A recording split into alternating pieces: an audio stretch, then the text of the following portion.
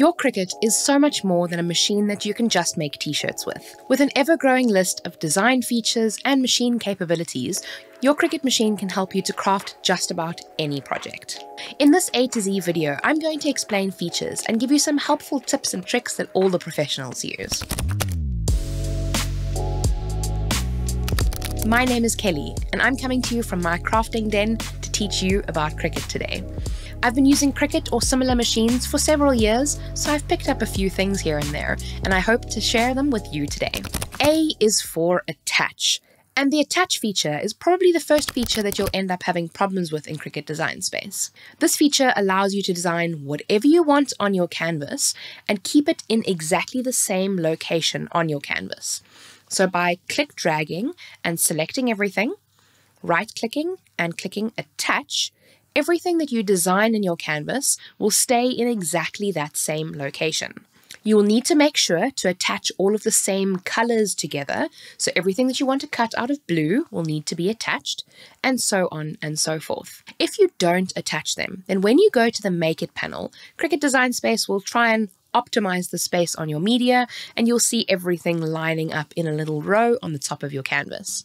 But don't worry, just go back and attach everything and you'll be fine.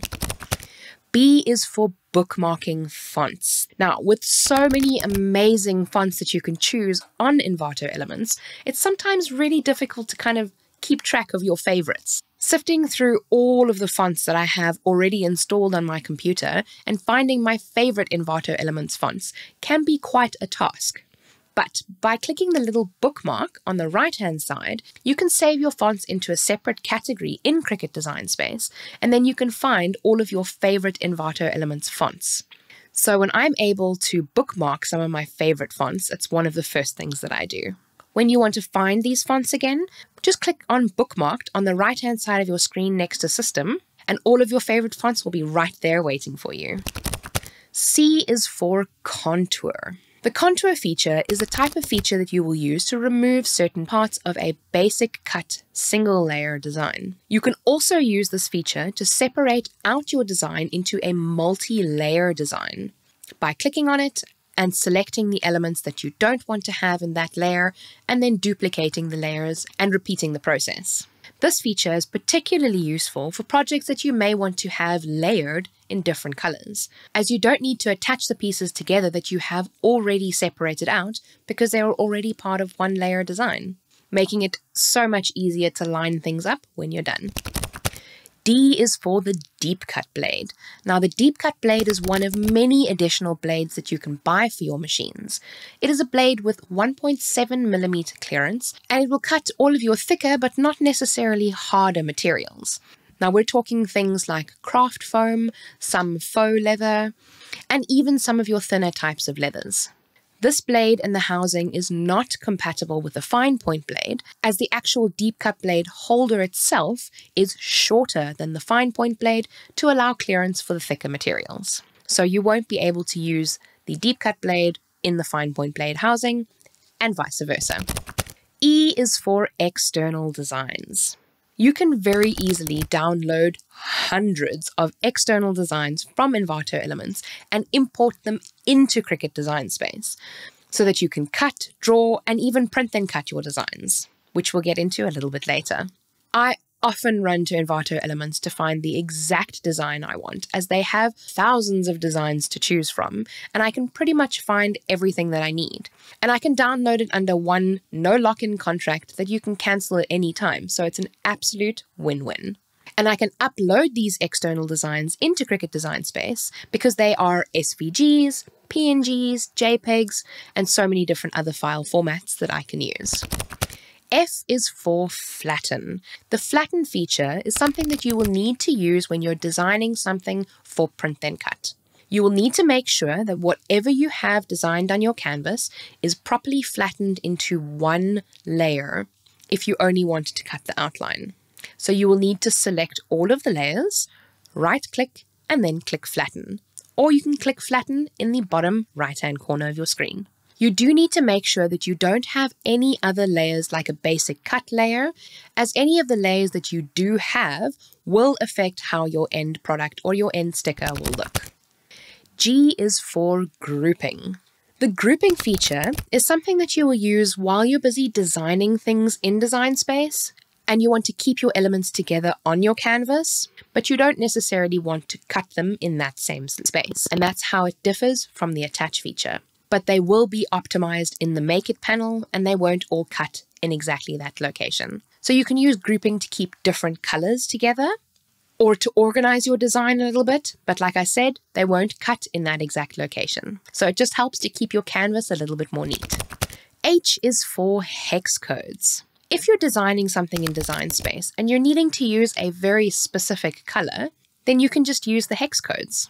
A hex code is a hexadecimal code of a very specific color, which uses letters and numbers to locate that color on the spectrum. So if you have a business logo with a very specific color, then you can find their exact company color to use on your project. When you open up the color panel, you can click on advanced and at the bottom of the screen, you'll see where you can add in the hex codes. And from there, it'll automatically select the color that you've chosen. I is for infusible ink. Infusible ink is a product that allows you to transfer ink from a sheet to a product with the help of a heat source. Infusible ink is essentially pre printed sublimation sheets, and it works on the same principles of heating up the item to 190 degrees and keeping it pressed for 60 to 90 seconds, depending on what you're using, and it transfers the ink from the sheet onto your item, essentially staining the fabrics of your item. So instead of having a layer like vinyl where you place on top of your t shirt, you will need to have a polyester or a sublimation ready item to transfer your infusible inks onto. It is important to note that you cannot use cotton as the inks don't adhere to the fibers in cotton. And it's also recommended to have a white item as that really helps the colors to stand out. You can use infusible ink on mugs, and many other sublimation ready items like mouse pads, keyrings, socks. The list is endless. J is for joy. The Cricut Joy is the baby of the family, but despite its size, it's still a pretty powerful machine. Most people want one because it's so small and portable, so you can easily put it in your handbag and take it with you on holiday if you're wanting to make projects at a friend's house. There are lots of different options. It cuts all of your basic materials like your cardstock, vinyl, iron on, but it can also do quite a few other things like acetate and faux leather. So, despite its size, you can still see why it's a very popular machine that most people like to use to complement their other machines or to buy as an entry into the market because of its low price point. K is for the knife blade. Now, the knife blade is only compatible with the Maker and Maker 3 machines. It is a much thicker, more heavy duty blade than the rest, and it can cut all of your thicker and heavier materials. So, we're talking heavy chipboard, balsa wood, tooling leather, and so many more things. This blade uses its own housing and is not compatible with any other blades or housings. You should also be using the strong grip mat when using the knife blade, as it needs the extra adhesion because of the force that it uses to press down and cut your thicker materials. I would also suggest taping your materials down to make sure that they don't move around while you're busy cutting using this blade. And make sure to move your star rollers to the side of the machine so that you don't mess up your materials. L is for layers. Now, in Cricut Design Space, on the right hand side of your mat, you will see the Layers panel. Each individual item that you add into the canvas will have its own layer, and each layer can have its own operation. So you're able to add many different things to your canvas and combine them in unique ways to create your project. You can also change the order of your layers if you want some things to be brought to the front or if you want some things to be at the back of your project. You can do many more things with layers, like attaching them together, grouping them, slicing them. They really are very important when it comes to playing around with your projects and getting to know how Design Space works. M is for mats in order to cut the wide variety of materials that you can on your Cricut, you're going to more than likely need to use a cutting mat. Now, this is a durable piece of plastic that fits into your machine underneath the rollers on either side, and has a sticky area on the inside where you can tack all of your materials down to to ensure that they don't move while you're busy cutting them. There are four different kinds of mats that you can use with your machine. The light grip mat is the blue mat, and that's used for all of your thinner materials like copy paper, as an example. The green standard grip mat is used for the majority of your materials cardstock, iron on, vinyl, etc. The pink mat is the fabric grip mat, and that's what you would use to cut all of your fabric materials. And lastly, we have the purple mat, which is the strong grip mat. And like I mentioned for the knife blade, you would use this for all of your thicker, heavier, harder materials that need a little bit of extra gripping strength. You will need mats when you are cutting the majority of your materials, as currently only smart materials can be cut easily on the machine without a cutting mat. Be sure to keep the protective sheeting on your mat at all times when you're not using it, as you'd want to avoid any unnecessary dust and hair buildup on the mat that can compromise the stickiness. If you do lose a little bit of stick, just give it a very light wash and you can use most household dishwashing detergents, but be sure to give it a very light wash as you don't want to wash the adhesive off. N is for never forget to calibrate. Calibrating your machine for both print then cut and use with the knife blade is pretty important. Calibrating the machine allows it to have better accuracy and more control over where the machine is going to cut. So, if you are using the print then cut function and you find that your cuts are just a little bit on the outside of the edge, then you might want to do a calibration to try and help the machine line up a little bit better. So the calibration allows you to test and see where your machine is registering and how it's lining up. So once you've done calibration once, and maybe you might need to do it a few times, you may find that you have a much more accurate and much better cut afterwards. O is for offset.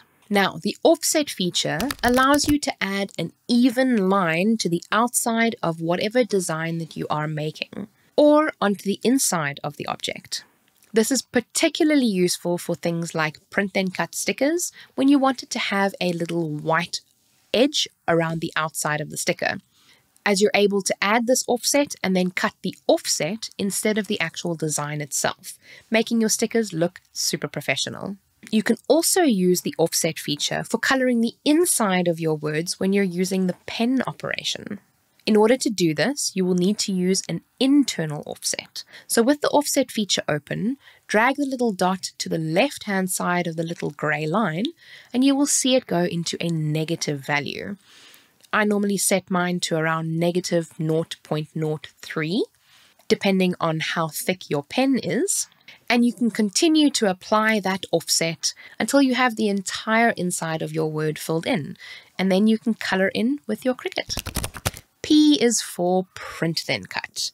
Now, we've already spoken about print then cut a few times, but this is a very useful feature if you're wanting to print out full color designs or logos or things with a gradient, things that you wouldn't be able to get when you're cutting it out of vinyl. Now, it is important to remember to make sure that you have the same printing medium as what you do for your printer. So, if you have an inkjet printer, you will need an inkjet compatible printing medium. So, inkjet printable vinyl as an example.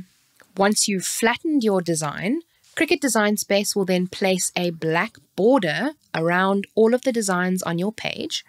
And once you have printed that out on your household printer and stuck it to your cutting mat, it will read over the black lines around the outside, locate where your design is, and then it'll cut it out on the outside of where you've told it to.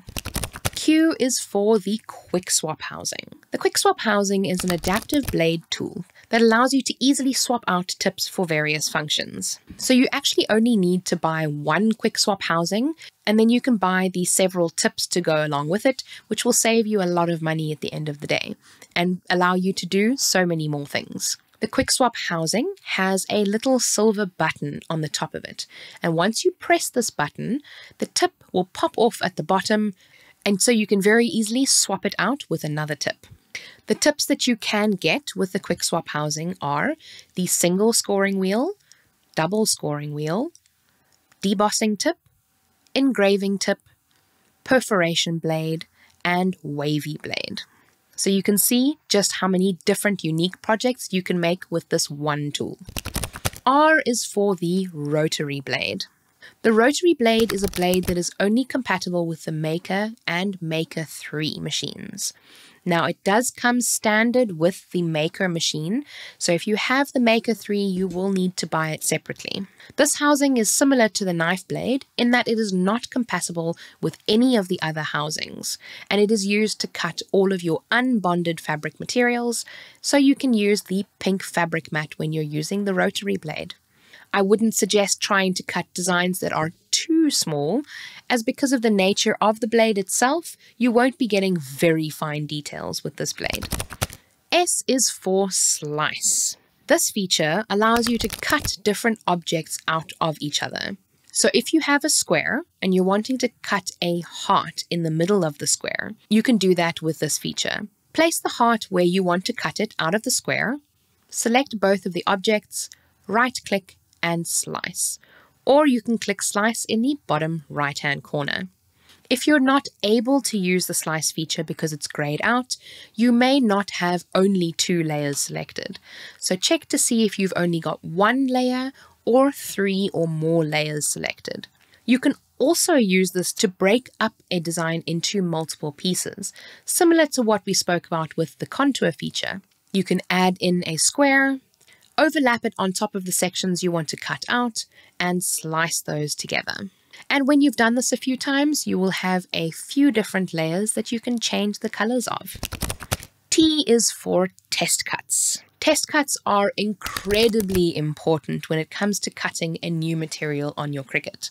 Instead of cutting an entire design and realizing right at the end that it hasn't actually cut through the vinyl, please just do a very simple test cut.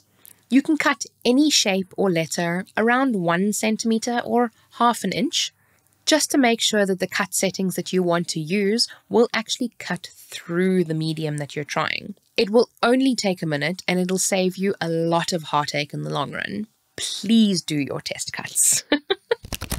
U is for unlock proportions. If you're wanting to change the height but not the width of your design, or the other way around, you can click the little padlock in the top of your screen, and this will unlock the proportions, which means that you will be able to change one value and leave the other value the same. So you'll be able to make something taller but not longer, or you can do it the other way around and you can lock the proportions to make sure that it stays in exactly the same size ratio that you want it. V is for vinyl. Vinyl is an incredibly popular thing to cut on your Cricut machines. And you get two different types of vinyl. There is adhesive vinyl and heat transfer vinyl. In the Cricut world, they're referred to as vinyl, which is your adhesive or your sticker vinyl, and iron on, which is your heat transfer vinyl. Sticker vinyl can be used on many different things books, mugs, cars. You can even use removable vinyl on your walls to make sure that you don't damage the paint. Iron on or heat transfer vinyl is the type of vinyl that you would apply to t shirts, socks, wood, and so many other applications.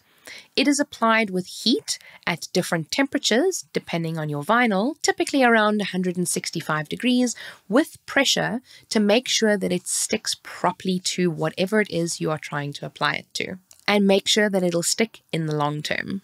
There are many different colors of vinyl, and they can get really fun. W is for weld. The weld feature is something that you will use to permanently stick two shapes together. So you can make a solid shape or combine multiple different shapes into the same layer. Without using the undo feature, there is no way to undo something that you have welded. Be sure that this is exactly what you want to use for your shapes, and if you're not quite sure, make a duplicate before you weld.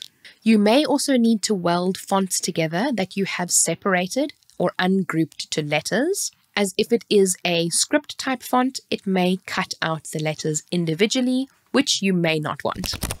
X is for Control X, which is the cut shortcut. There are many shortcuts that you can use in Cricut Design Space, and Control X is a very useful one when you want to cut something out of your canvas and paste it in later. You can press Control X on your keyboard to remove an item that you have selected, and you can even press Control V multiple times to paste that same thing over and over again if you want to duplicate it.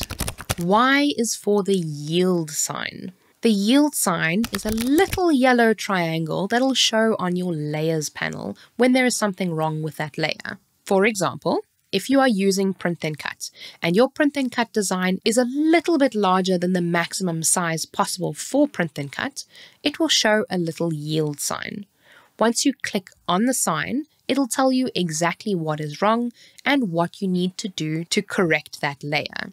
So it'll say to you, your design is too large, please reduce it to these specifications in order to print then cut. Another thing it can show you is when that operation that you have selected is not compatible with the machine that you have selected. So if you're wanting to deboss and you have your Cricut Joy or your Cricut Explore selected, you cannot deboss on that machine, so it'll tell you that that operation is not compatible with that machine. And lastly, but probably the most important one, is Control Z, and that is undo. This is probably a feature that I use all the time as it allows you to undo the last action or actions that you have done on your canvas. So if you've made a little mistake and you've moved something on your canvas by accident, you can just press Ctrl Z to undo that move. And if you're not quite comfortable with keyboard shortcuts yet, then you can use the two arrows in the top left hand side of your screen to undo and redo that move. Don't forget to subscribe to the Envato Tuts Plus YouTube channel for more Cricut videos in the future. Thank you so much for joining, and I'll see you in my next video. And remember, be kind to someone today. See you soon.